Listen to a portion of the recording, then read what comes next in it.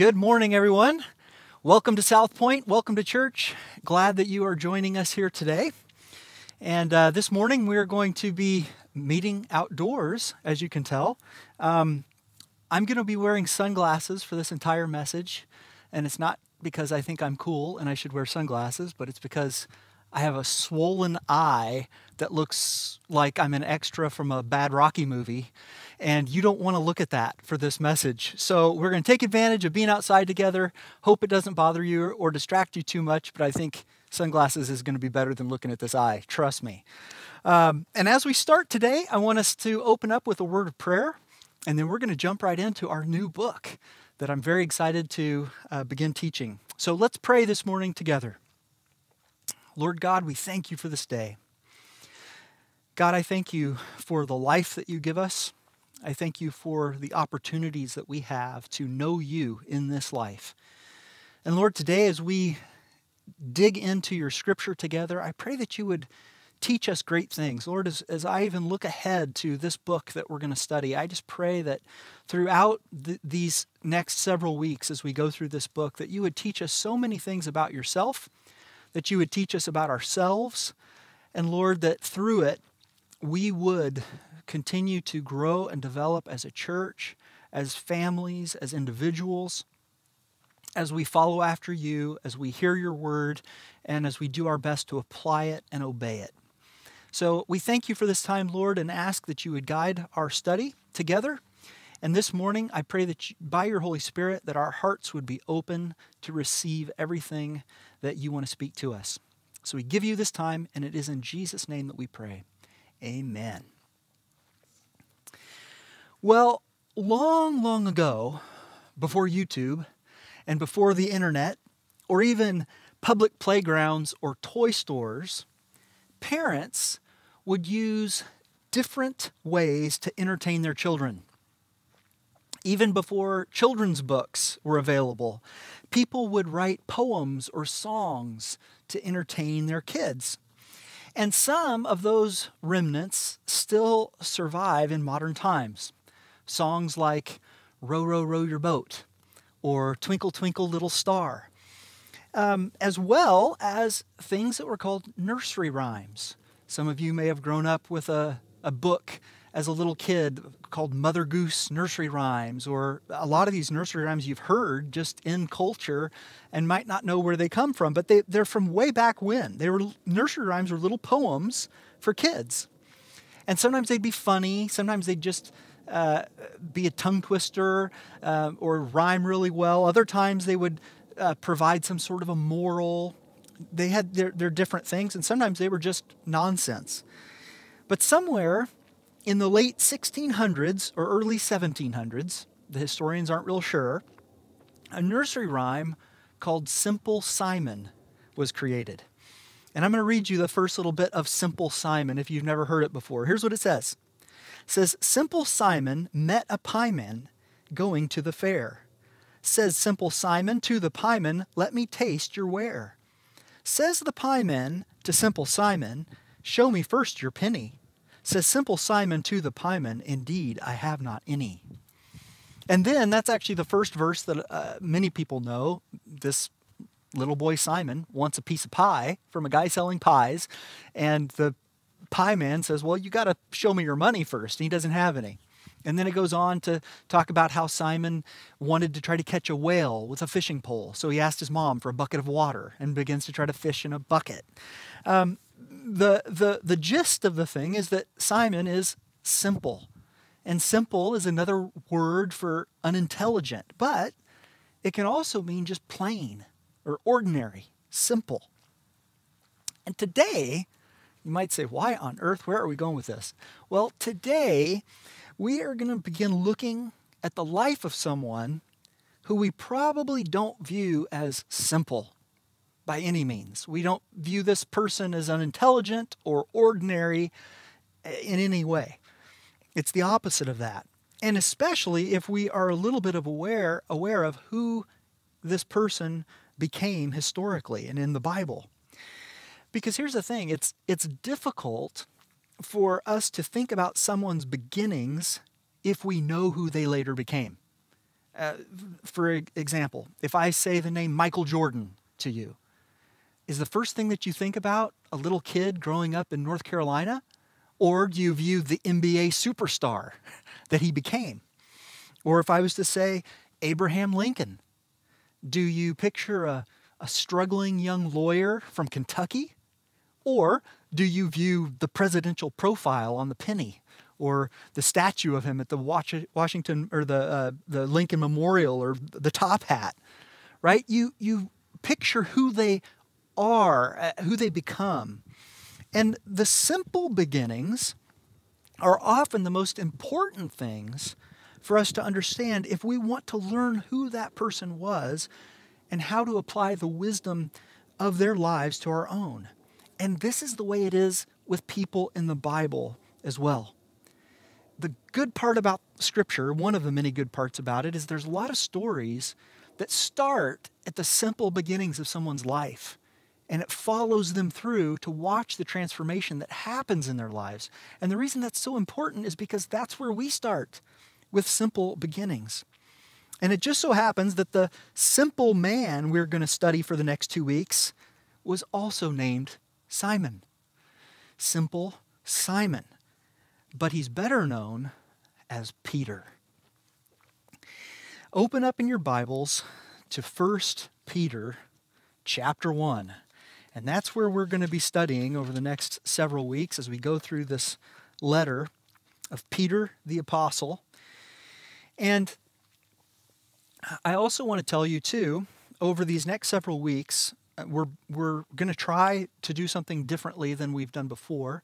Um, this week, you, you have access to a fill in the blank sheet that's going to hopefully help you coordinate your notes and follow along with the message and see what's going on. There'll be a few little key points to, to remember there, um, some fill in the blank spots, but also some space for you to kind of get down your personal thoughts. I think that'll be helpful for you as you study this and also um, when it comes time to life group and to discuss these things too. Maybe you'll have some, some ideas from it. And so um, I encourage you to do that. And I always encourage you to bring your Bible and follow along in your Bible as we go through these things together too. So let's begin here with 1 Peter chapter 1, verse 1. And we're not going to go very far. We're actually just going to read the first phrase of this today. Here's what it says it says, Peter, an apostle of Jesus Christ. That's how it starts, and that's where we're going to stop. Peter, an apostle of Jesus Christ. Now, we're not going to go any further into this book until we form an understanding of who Peter was before he was Peter the Apostle. Or if you're raised um, with a Catholic background, you've heard probably about many different saints. And one of the top saints of all saints is Saint Peter, same guy, the Apostle Peter, one of the twelve, one of the disciples, Peter. This is who we're talking about. This is who wrote this book. But what about before he was an apostle or an, a, saint, a saint known by that? As far as characters in the Bible are concerned, we learn more about Simon Peter than almost anyone else, other than Jesus or maybe the Apostle Paul. Peter pops up over and over and over in Scripture. We learn more about Peter's life than even King David or Moses. His name comes up 165 times in the Bible, and that's, that's quite a bit. But before he was Peter the Apostle, as we start off here, he was simply Simon the fisherman. Simon the fisherman. Simon first encountered Jesus near his hometown in the region of Galilee. That's probably familiar to most of you if you've uh, read the New Testament or heard the gospel stories before. The region of Galilee is where Peter was from. The most significant landmark in Galilee is still there today. It is the Sea of Galilee. Now, the Sea of Galilee is 13 miles long and it's 8 miles wide.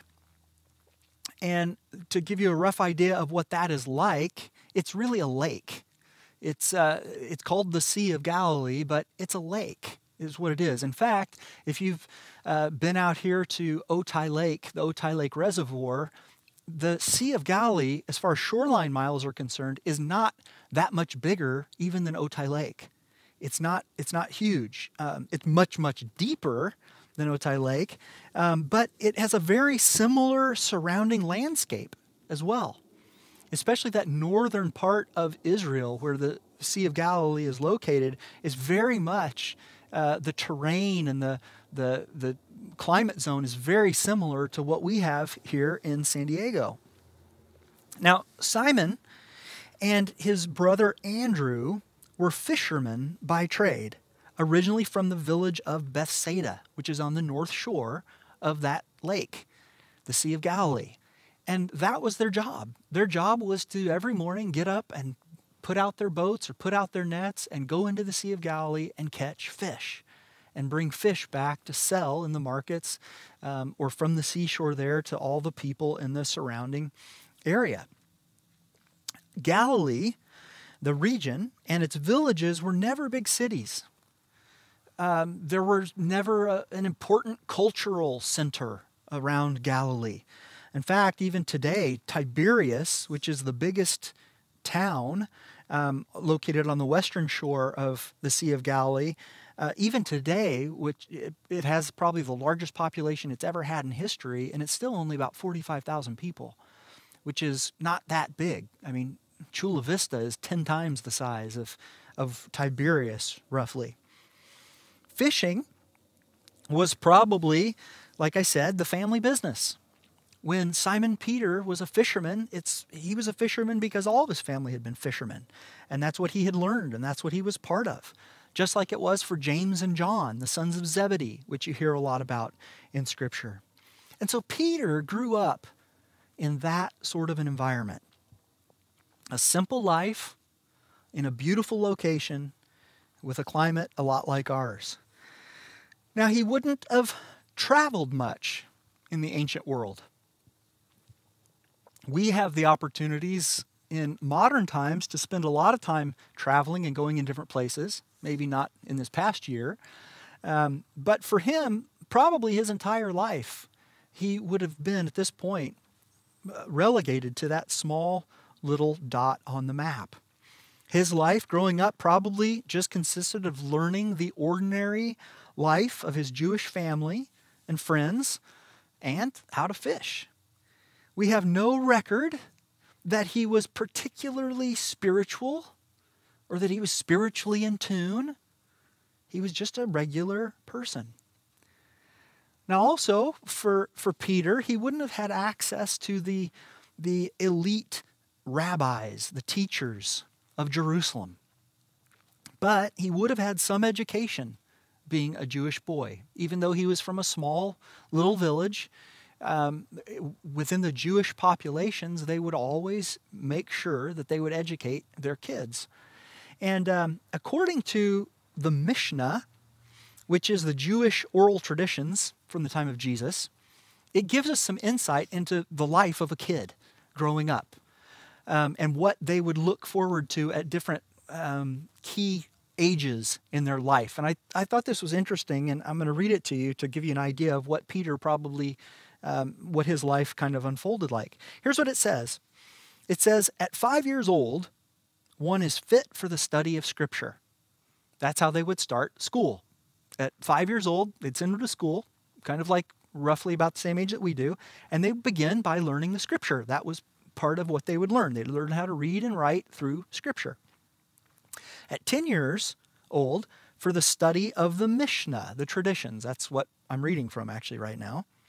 At 13, for the fulfilling of the commandments, because at 13, you were considered uh, moving into grown up, uh, the grown up age, and so you were responsible for your own actions at 13. At 15, for the Talmud, that's the other part of the Jewish laws. There were the traditions, oral traditions, and the laws that together made up the, the Talmud. At 18, for the bride chamber, meaning at 18 you could get married, and in this culture, most of the time it was always arranged marriages. So for many of these kids, as soon as they turned 18, whoever they were going to marry, which had already been lined up from their families, was going to happen right at 18. At 20, for pursuing a calling, that means like you'd start your career at 20.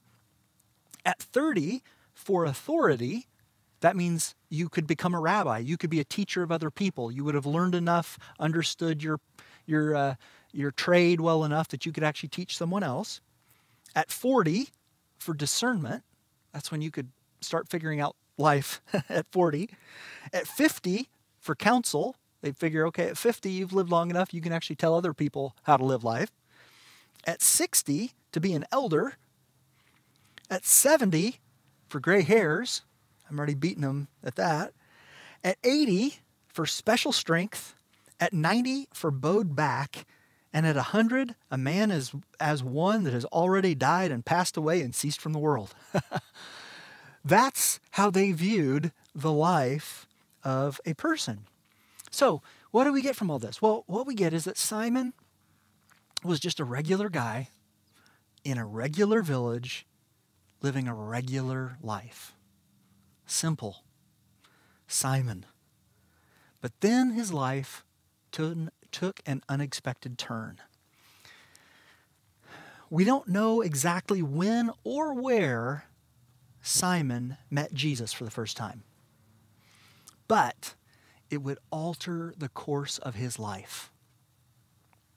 There are a few events that we find in the Gospels that happen very close together to figure out when and where uh, he met Jesus. The first one yeah, that we're going to look at, and I'm just going to look at three of these these um, pieces of scripture in in each of the, uh, in three of the four gospels. In John chapter one, starting in verse 35, here's what it says. It says the next day, John, who is John the Baptist, was standing with two of his disciples, and he looked at Jesus as he walked by and said, "Behold, the Lamb of God." And the two disciples heard him say this, and they followed Jesus. And later in verse 40, it says, And one of the two who heard John speak and followed Jesus was Andrew. And listen to who it was Simon Peter's brother. He first found his own brother Simon and said to him, We have found the Messiah, which means the Christ. And he brought him to Jesus. And look what happens here. Jesus looked at him and said, You are Simon, the son of John. You shall be called Cephas which means Peter. And you might think, wait, what a minute. Wait, wait, wait. Simon, Peter, Cephas. That's a third name? The guy's got three names? Well, Peter is Greek, and Peter just means rock. Cephas is Aramaic, which just means rock. Um, in our culture, a lot of people are bilingual with, with English and Spanish. Well, in this culture, Jesus and his disciples, most of them were trilingual at least. They would speak Hebrew, which was the book that the Bible was written in. They would speak Greek, which was the cultural area of the whole Roman Empire, that language. And then also they'd speak Aramaic, which was kind of the common language between everybody. So Simon was his given name, but Jesus says, I'm going to give you a nickname, and it's going to be Peter or Cephas. And that means rock. All right, so this was that was one critical time that Jesus met Peter very early here. All right, then another one's found in Luke, Luke 4:38, and here's what it says: "And he, Jesus, arose and left the synagogue and entered Simon's house." Here comes Simon again. Now look, listen to this, uh, because this gives us a little more biographical information about Simon. It says, "Now Simon's mother-in-law, which means Simon had to be married that's how you get a mother in law. Simon's mother in law was ill with a high fever, and they appealed to him on her behalf. And he stood over her and rebuked the fever, and it left her. And immediately she rose and began to serve them. So, first, Peter, well, at some point, he gets a nickname from Jesus. Next, he witnesses Jesus heal someone who's very close to him, who he loves and cares for, as we all do of our wonderful mother in laws. And then we're going to see another thing happen here in Matthew 4. Matthew 4:18 it says, "And while walking by the Sea of Galilee, Jesus again here, he saw two brothers, Simon, who is called Peter, the guy we're talking about, and Andrew his brother, casting a net into the sea, for they were fishermen. And he said to them, Follow me, and I will make you fishers of men. Immediately they left their nets and followed him.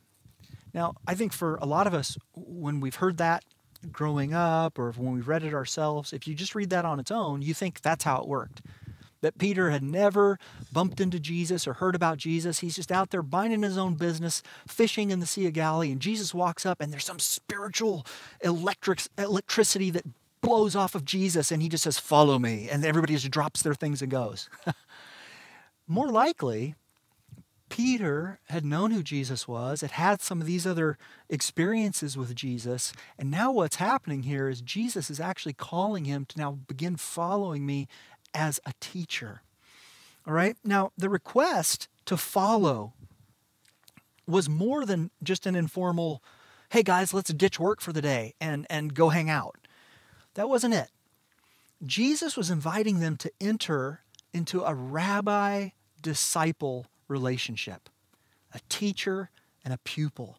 He was asking, and based on what we just learned from the Mishnah, that thing that talked about this, the stages of life, we can guess then that Peter was at least 18, because remember, they'd get married at 18 minimum.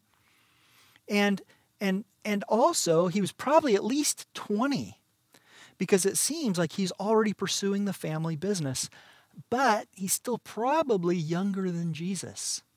And the Bible tells us that Jesus started as a rabbi, began his ministry at age 30, which, by the way, you just learned that that is Jesus following the cultural traditions of the Jews. You couldn't become a, thir- a, a, a rabbi until 30.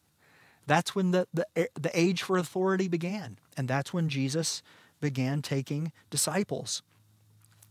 Now, I bet most of you haven't pictured the 12 disciples as teenagers when they began following Jesus. But most of them probably were. Most of them were probably in their, their teens. We don't know um, for certain that any of the other disciples had been married before following Jesus. And it was very common for uh, a, a, disciple to start following a rabbi before they were married, before they, they had a career.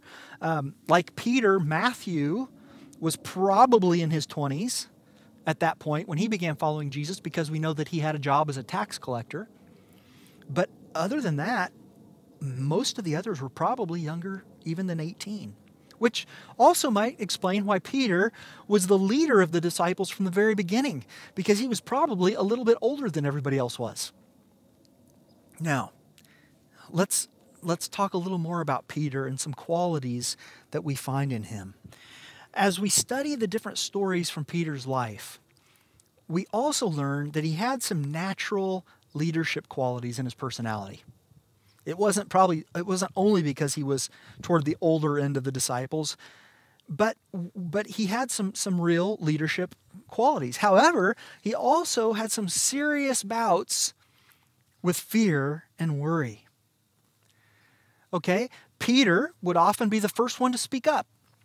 There's several times in scripture where the disciples have a question about something and they're still a little shy to ask Jesus directly, so they say, "Hey Peter, go ask Jesus about this. Go ask him about that." And Peter would be like, "Okay, I'll do it. I'll ask him." And Peter would be the one that would step up and, and ask the question. There's a, a story that's found in several of the Gospels. Luke 9 is one of the places where Jesus has his disciples together and says to them all, Who is it that people say that I am? And some of them start piping in a little bit here and there. Well, you know, some say that you're a, a prophet.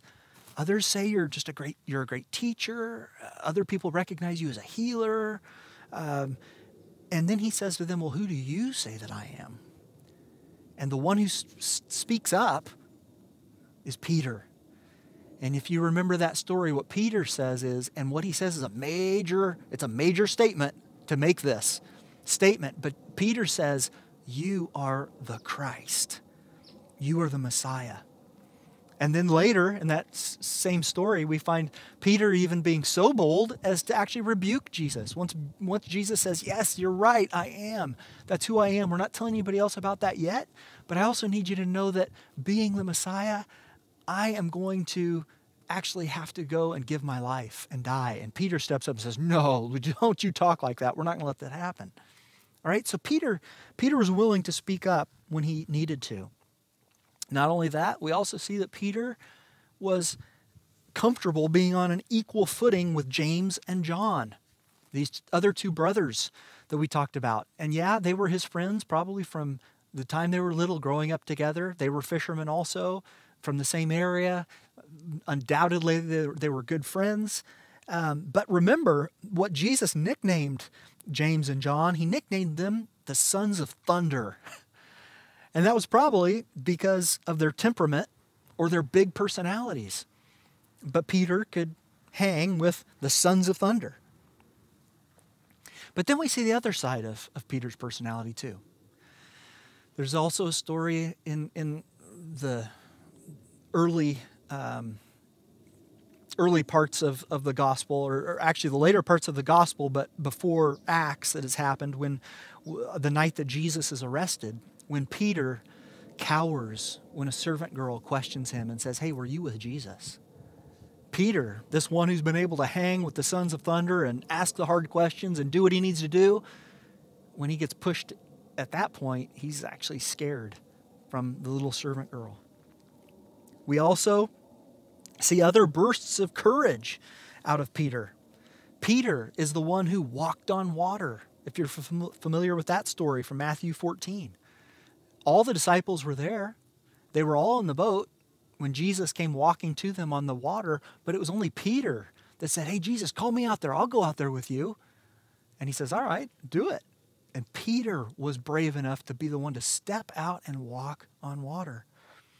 Peter also made some big promises to Jesus. When uh, at the night of the Last Supper, when Jesus said, Hey, all of you guys are going to fall away from me. My disciples, the ones that have been following me for all these years, you're all going to fall away. What did Peter say? Peter stood up and said, No, I, I don't know about all these other guys. They might fall away, but not me. I'll die with you. I'll die with you. And then when they came to arrest Jesus in the garden with Malchus, it was Peter who took a sword out and cut off the ear of the high priest's servant, Malchus, in John 18. But then, that same chapter, that's when we find then that Jesus, as he's arrested and taken away, that Peter retreats and denies that he even knew Jesus. All right, well, what other things shaped Peter? Well, he had some incredible experiences with Jesus. And these are all important things. The reason we're going through all this, again, is we want to understand the person who writes the letter we're going to study. Peter, along with James and John, became the three disciples that Jesus had the closest relationship with. Of all the 12 disciples, of all the larger groups of people that Jesus interacted with while he was here on earth, Peter was the closest. Peter, James, and John. Those three were the ones that he invited to pray with them when he needed serious prayer. Those three were there when Jesus was transfigured and when Jesus was in the Garden of Gethsemane, praying in his hardest moment of life, praying that the Lord would take the cup from him. Peter was there. And not only did Peter walk on water, but he also had a front row seat to all of Jesus' miracles. And he even performed miracles himself after Jesus sent him out with the rest of the disciples. And Peter spent three years living life with Jesus, learning from him every day. Yet one of his most important experiences was also one of the hardest. And this is an important experience for us to know about when we learn about Peter and it would shape him for the rest of his life. It would also shape the letters that he would write for believers that would become 1st and 2nd Peter. So the the other section of scripture that we're going to look at here today is found in John chapter 21. So if you've got a Bible and you want to turn over there, please do. In John chapter 21, starting in verse 15, we're going to learn about this event. Here's what it says. It says, When they had finished making breakfast, Jesus said to Simon Peter, Simon, son of John, do you love me more than these? And he said to them, said to him, Yes, Lord, you know that I love you. And he said to him, Feed my lambs. He said to him a second time, Simon, son of John, do you love me? He said to him, Yes, Lord, you know that I love you. And he said to him, Tend my sheep. He said to him the third time, Simon, son of John, do you love me? Peter was grieved because he said to him the third time, Do you love me? And he said to him, Lord, you know everything. You know that I love you. Jesus said to him, Feed my sheep. Truly, truly, I say to you, when you were young, you used to dress yourself and walk wherever you wanted. But when you are old, you will stretch out your hands, and another will dress you and carry you where you do not want to go. This he said to show by what kind of death he was to glorify God. And after saying this, he said to him, Follow me. You see, Peter had denied Jesus three times on the night that he was arrested. And here, Jesus gave him an opportunity to wipe those three denials away with three declarations of love. This was a moment where two close friends, with all the history and the shared experience, they could meet face to face and heal the brokenness between them. It was also a moment between a human being and God Almighty.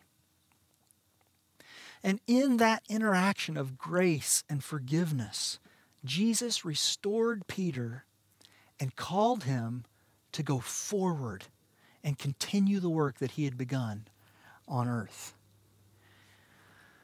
And isn't that like our story? What I'm really trying to get you to see here today is that our lives are very similar to even some of the great people in the Bible. The simple beginnings, especially. Peter was a lot like many of us. He had some good traits, and some personal strengths, but he also had some real weaknesses and failures. But I want you to understand that Peter wasn't chosen to be an apostle because of his raw talent or potential. It wasn't because of his deep spiritual sensitivities. Peter became a saint because he chose to accept Jesus' forgiveness and his invitation to follow him. Peter then aimed his life down that path. Were there still struggles and stumbles? Sure. But simple Simon was now a rock in the hand of his master. And when the Holy Spirit fills a simple life, anything can happen. That's important for us to know and hold on to when God gets a hold of our lives, anything is possible. So, as we finish here today, as we finish here this morning, the way I want you to think about this and the way I want you to respond to this as we begin to consider Peter's life. And next week, we're actually going to look at the, the next section of Peter's life after he's been restored by Jesus and begin to look at what Jesus then does with the restored Peter when Jesus ascends into heaven and is gone, but then sends his Holy Spirit to empower Peter to do the work that he's got for him. And that's what we're going to look at next week before we get into the rest of 1 Peter. But where do you find yourself today? When you consider a life like Peter's, where do you see yourself? I told you at the beginning that Peter's life drastically changed once he met Jesus. Have you met Jesus? Have you responded to the call to follow him? If not, today's the day to do that very thing. And what if if you have, if you have met him and you have begun following him, what's your current relationship with God like? We see that Peter had some up and down moments in his life. So so much that on the same night that he swore allegiance to Jesus, it was the same night that he denied Jesus. Are you discouraged in your walk with the Lord right now and think that God can't or won't use you? You might say, Oh, I'm too simple. I'm too ordinary of a person for God to even use me or work in my life. No, you're not. No one is. Do you need a restoration of your own? Maybe you're, you feel distance from Jesus because of sin in your life, of areas where you keep stumbling. Maybe today's a day that you need to come to the Lord and allow Him to restore you. I'm personally, I'm, I'm glad that my failures aren't written down in a book like Peter's are for the whole world to read and to study. But I do know that sometimes I hold on to a record of my own wrongs instead of letting the Lord restore me. Are you that way?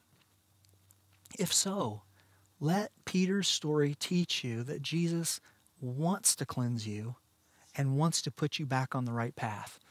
What's it tell us in uh, 1 John 1 9? For if we confess our sins, he's faithful and just to not only to cleanse us, but forgive us our sins and to cleanse us from all unrighteousness.